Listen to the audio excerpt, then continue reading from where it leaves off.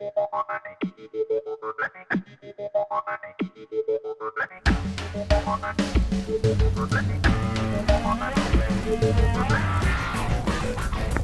hello again. Welcome back.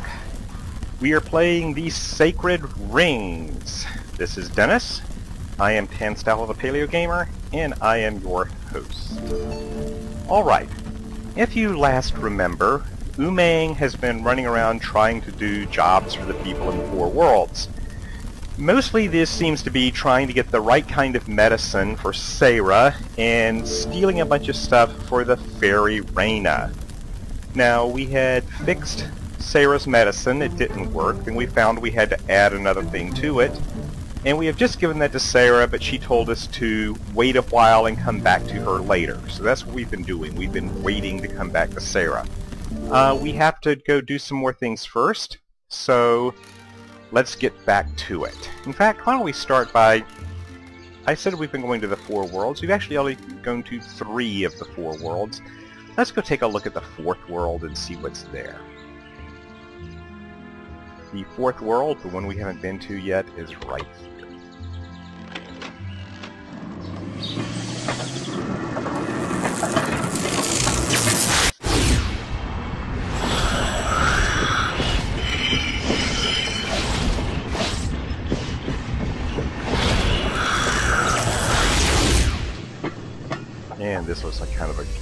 place, and oh look, the thing didn't turn around when it got here. That's the first time that's happened. We actually can't do much here yet. We just have to go up to the gate, and not the big gate, the little gate, and try to go in. Where are you going? I just wanted to look at the graves. Best to let the dead lie in peace. You shouldn't be here.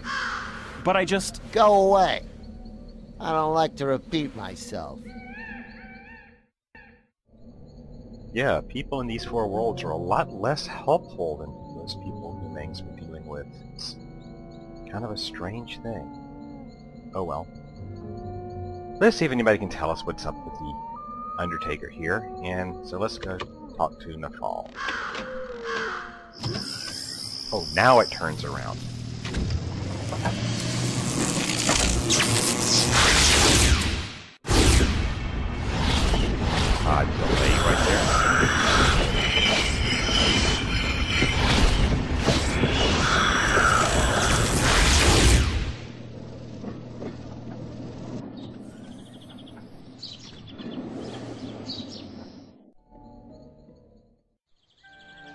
right.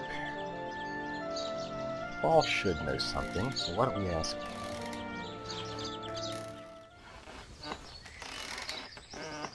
Lovely day, isn't it, Nafal? Spare me the pleasantries, Umang. What do you want? Well, I was at the cemetery, and And Salan, the gravedigger, wouldn't let you in. how did you know? He doesn't let anyone in there. Well, no one but Ferd, the executioner. Salan's afraid of him. What does Ferd do at the cemetery? His son's ashes are buried there. Ferd goes to visit every night. Salan isn't much of a conversationalist, is he? Not many people to talk to in a cemetery. Salan only leaves that place when he needs to retrieve the body of someone who has died. He's a bit odd in the head, that one. Someone who has died. That gives me an idea. What are you talking about? Nothing. Just thinking out loud. Probably not a good idea. Umang, I mean, I know you were just thinking, and I know it's beginner's luck, but still. Alright. We're gonna go back and talk to the Grave Digger again.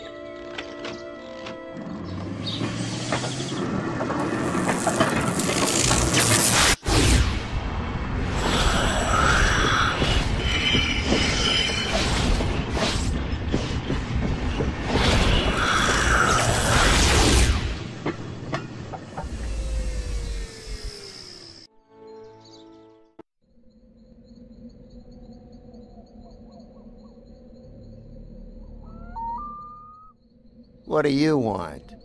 Sarah! It's Sarah! Sarah who? Nafal's wife. What about her? She's been ill. So? Her illness grew worse, and now Now what? she she didn't Has she died? I I think so. Funny. I always thought Nafal would be the first to go. Uh, I guess we all did. Well, I can't stand here talking. I gotta pick up the body. That's my job, after all.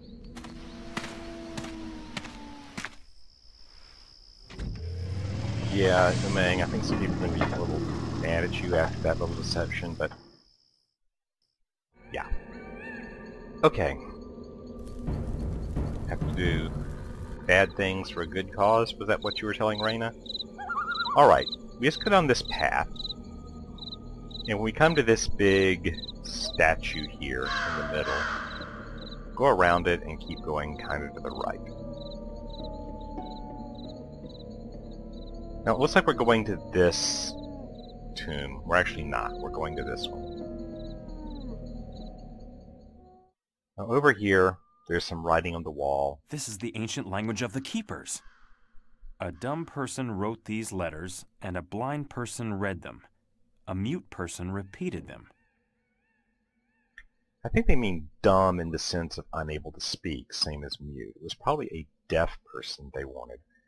What we have here is we have these tiles in this thing with a lever. But the lever won't move.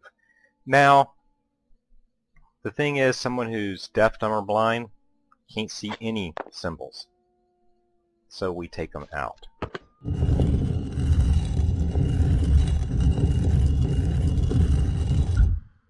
That lets us into this room. Now, looks like something from Gallifrey or something. Okay. All we're doing here is we're about to do a bit of grave robbing. We need this spear. Don't ask why, we just need that spear. It's a little odd. There's nothing that indicates I should come here and get that thing. It's just standard adventure game logic of stealing everything that moves or isn't moving. Okay, here's a statue. That statue we came past earlier. Now I'm going to go on off to this side until I get to this particular tomb.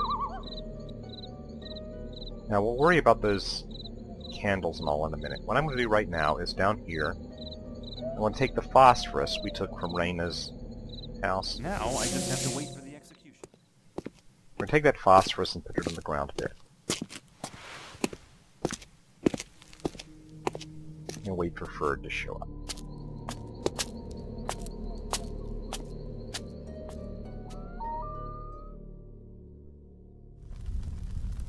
In an unrelated cutscene. The best warriors in my clan. And you can't take care of one unarmed boy? My lord, Silence! I don't want excuses. I want that boy. Woman's head isn't lying at my feet within five days. Your head will. Now be gone! Talk to me, Guggen. Durad sends word that it is becoming difficult for him to maintain a position of power in the Keeper's clan. He asks for assistance. Damn! Bloody tetrahedrons! Okay, I have no idea why that particular cutscene plays right there. It seems unrelated to anything. I guess they just wanted to get that information to us. Okay. We now have to get into this tomb. The way we get into this tomb is we deal with these little candles here. Now if I click on a candle, you see the other candles will light up at randomly.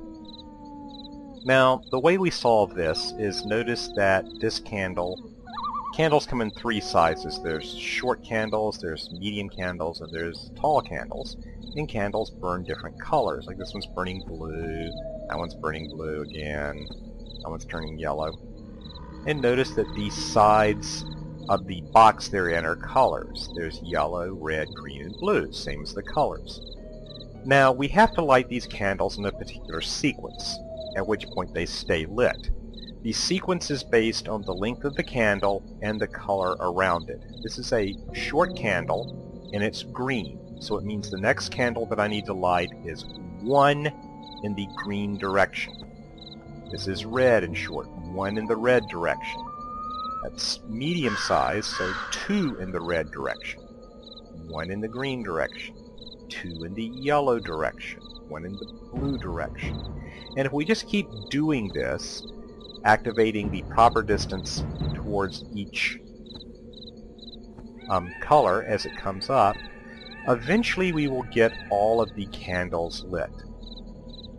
That's three, that's one, three,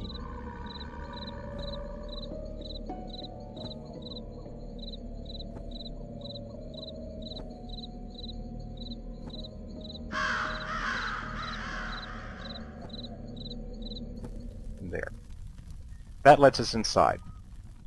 Now down here we have a lot of urns where presumably ashes are. But we don't know which one we need. That's what we put the phosphorus in the ground for. And what I think is odd is we had to know to put the phosphorus on the ground before we got in here to see what we're supposed to do. So I come here and I pull this lever. That turns out the lights. And now the phosphorus I put on the ground shows me that Ferd obviously went to there. So now I know where to go. Turn the lights back on again. I can find the lever. There it is.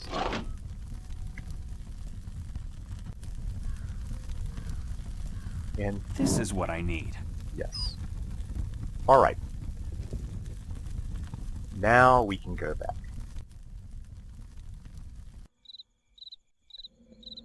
Now remember, the Gravedigger is probably not real happy with us right now. So we're going to have to dodge him. Which I think Nafal and Sarah are probably going to be mad at us too, since I basically said Sarah was dead. Yeah, here comes the Undertaker. Let's dodge him. I need to hide somewhere. Over here looks good. There's things hiding a lot in this particular world. Alright. Now we're ready to go. Now I have the two things that Raina wanted. Remember she wanted me to bring her the ash Ferd's son's ashes, and she wanted me to bring her the Book of Alchemy. So why don't I go give those to her now?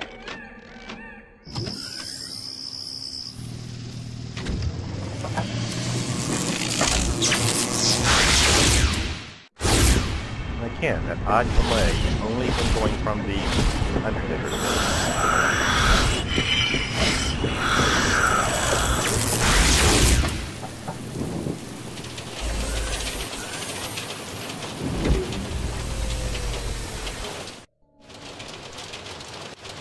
Alright.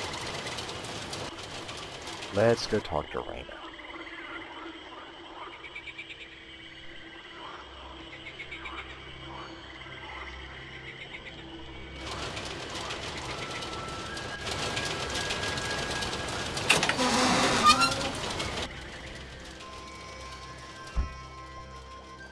We have things she wants. Oops, there we go. Let's start by giving her the book. What does a kind fairy want with this book? You are even wiser than I had imagined. Finally, I have something to do during the long, rainy evenings.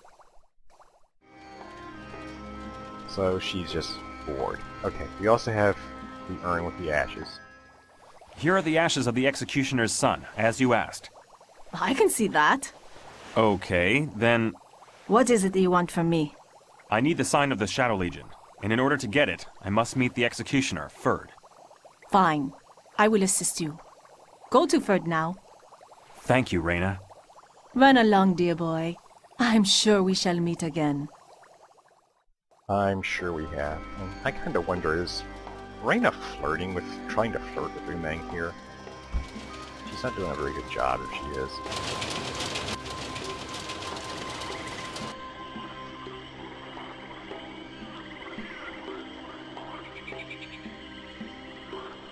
And a cutscene is going to play just as soon as we get back on the little roller coaster.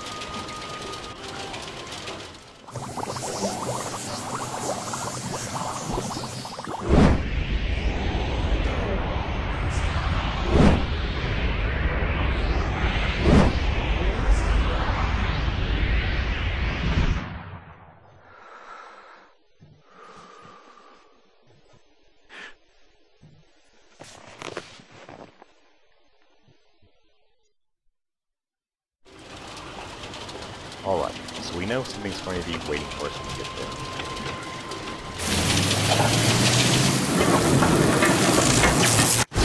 But in order to talk to Ferd, we have to talk to Sarah first. Remember, she has a little glowing sphere that lets us get to the elevator. So let's hope that Sarah's feeling better by now.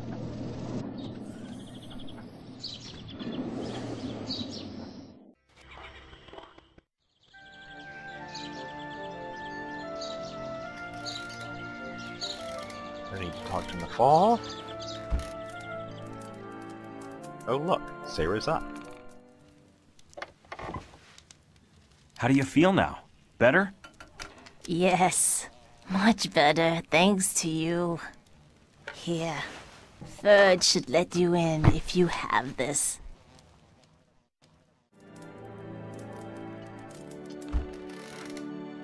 Alright. It's the same sequence as before. We have to put the sphere on the little thing and play the same sequence of notes again.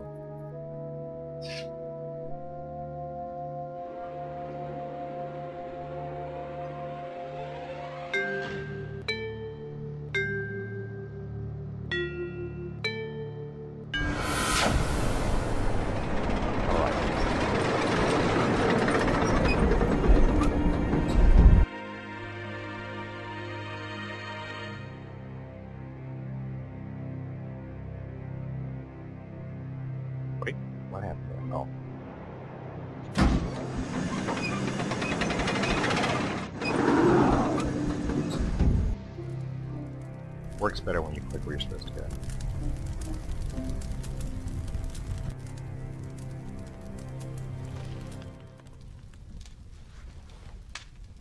Umang, I'm glad to see you. Don't just stand there. Come in. I'm Come in. already in. I must tell you. Razan came to me. My son. He has forgiven me, Umang. He says that he understands everything, and he has forgiven me. Ferd, I'd like to talk to you about. Razan, my poor, poor boy. Um, Ferd, I want to ask you. Yes, yes. Razan told me that I should help you. Ask anything you wish. I need the sign of the Shadow Legion. Are you mad? Why do you need the sign? I must go to the Keeper's Palace, to the place of my forefathers. You must be mad indeed, Umang. That place is the lair of the Shadow Legion now.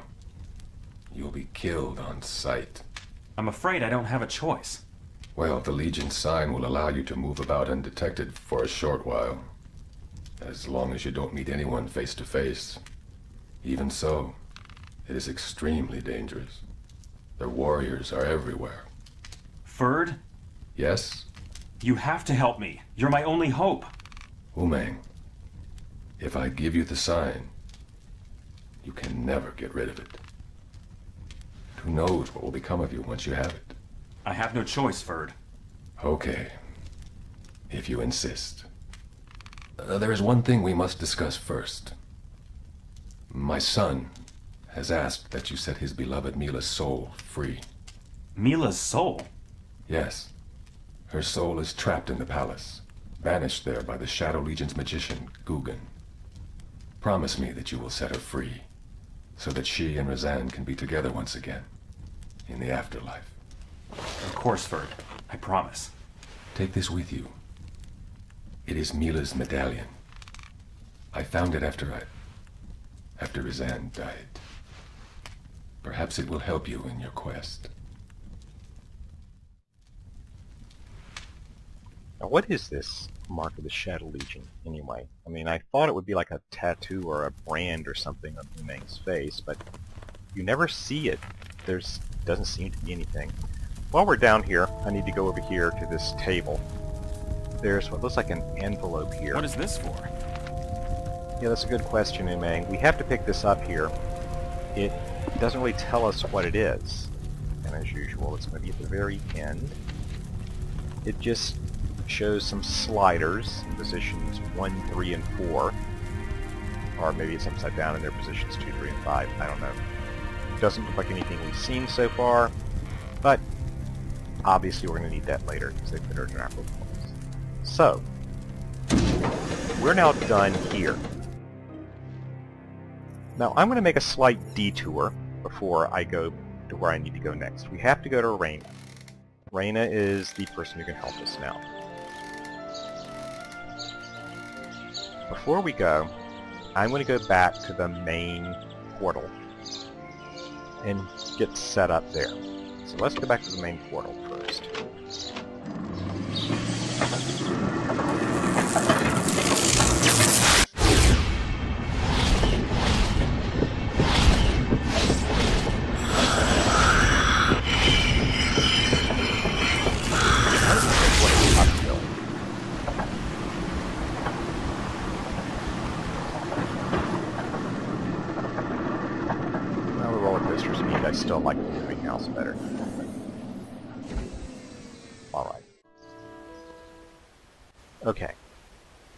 to go back to where the Keeper's Portal was.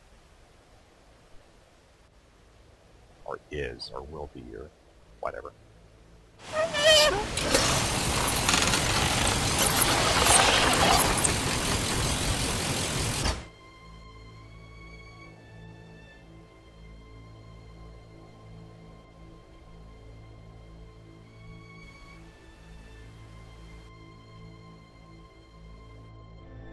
There's a lot of running around in here. I don't need to go over to the portal itself yet, I need to go up above. And all I'm going to do is I'm going to take that spear. Remember the spear that we had that I took from that grave? And put it here. Because if we're going to summon a lightning bolt with 1.21 gigawatts, I need something to conduct the lightning. So now I need to go talk to Reyna and get her to summon lightning for me. Way over here.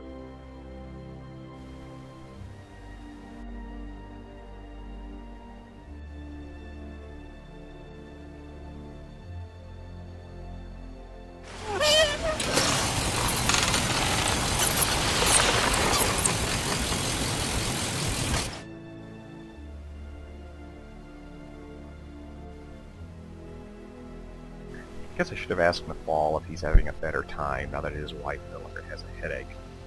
You have to go to Reyna. Reyna's here.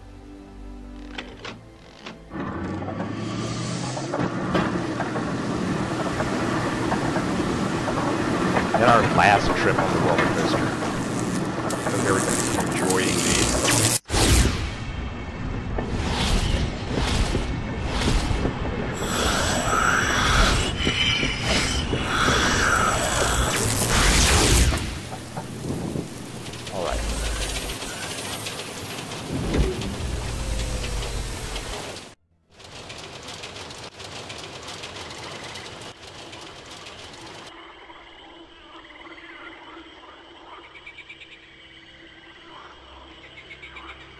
Okay, tell Reyna that we need to, that we're gonna need her.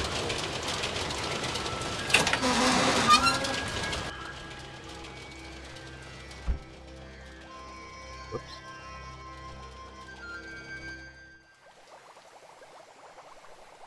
What do you want, Umang? Reyna, I need to call lightning. Lightning, he says. Well, I can't imagine why you'd need it. But why not?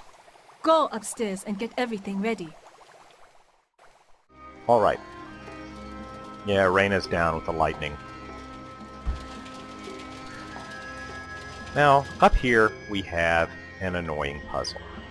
Now remember how the we had the different symbols that meant, you know, rain and fog and lightning. That was the symbol for light. Now I have to move these idols around. Notice I have a big idol a slightly smaller idol and a next size down. You know, they're like nesting dolls, like those old Russian nesting dolls. What this is, whether you recognize it or not, is a Tower of Hanoi puzzle. Now, they like putting Tower of Hanoi puzzles in this kind of game. Generally, anytime you have a stack of something where things only fit on the stack in a certain order, you know, in this case, the larger statues fit on top of the smaller statues, and you have to move things, so you've got three choices and you have to move them from one to the other, that's a Tower of Hanoi puzzle. There is a secret to solving Tower of Hanoi puzzles in the minimum number of moves. I'm going to show you this. You can solve any Tower of Hanoi puzzle in any game this way, and it is guaranteed to be in the smallest number of moves. Okay, so let's go through this. What you have to do is assume that these three platforms here are basically connected in a circle. This one connects to this one, this one connects to this one, and then this one connects around back to this one again. So, or the other way around. So we're moving these in order. What I'm going to do is take the topmost one and move it in order to the place that I want them to wind up, in this case here. I will then take the next topmost one and make the only legal move available to me. Then I will move the topmost one to the next one in order. Then make the only legal move available to me that does not involve that topmost one. In other words, every other turn, the topmost one will just continually circle around. That's all it's going to be doing, every other move. Turns that I do not move it, I make the only legal move available to me without him. So, topmost one, only legal move. Topmost one, only legal move. Topmost one, only legal move. And I just continue doing this.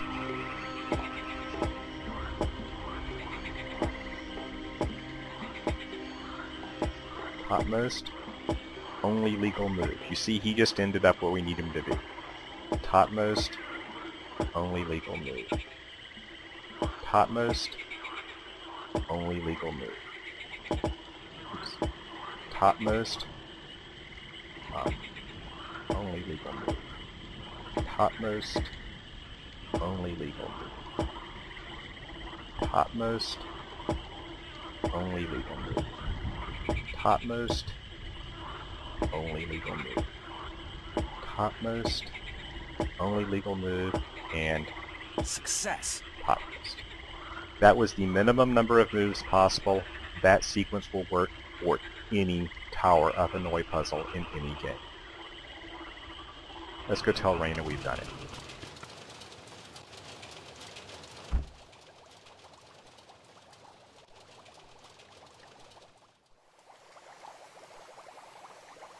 Umang, I'm impressed. I'll call Lightning for you as soon as you are ready. Thank you, Reyna. My pleasure. Alright, and we've actually done everything we needed to do. The only other thing we... that was putting the spear up on the top of that statue. So, let's do this.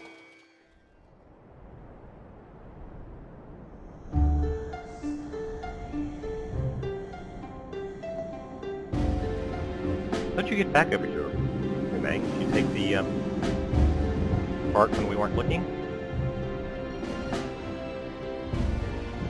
Yeah, I think Raina kinda has a thing for Umang, personally.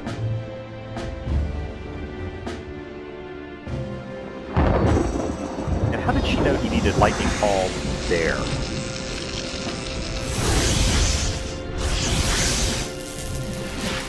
Like I said, 1.21 gigawatts. The Lawrence may come flying out of that door for a second.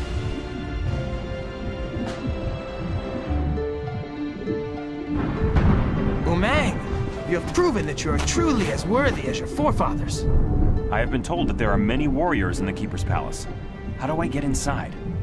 In the mountains nearby, there's a cave. Find this cave and follow the tunnels. They lead into the Shadow Legion's lair. Thank you, Michael. Your burden is a heavy one, but the Tetrahedrons will help you in your quest. And remember, Umang, one door may open many passages. It is up to you to decide who takes which passage. Alright, so Umang has now found his way to the Keeper's homeworld, which is under the control of the Shadow Legion. Fortunately, he has the sign of the Shadow Legion, which is apparently invisible or something, because I don't see it on him. But he has to be careful. Yeah, he's going to have trouble getting back, because statues are missing here. When did he cover his face? But we're here. We are at the World of the Keepers. And okay, we're at the World of the Keepers, and we have to go face the Shadow Legion in their own castle now. And we've been doing this for a while, so I'm going to call a stop here for now. When we come back, we will be visiting the castle of the or the palace that used to belong to the keepers and is now the home of the Shadow Legion and see if we can finally defeat them once and for all. So until then, I am Dennis, I am Tan Staffel the Paleo Gamer, and I will see you next time.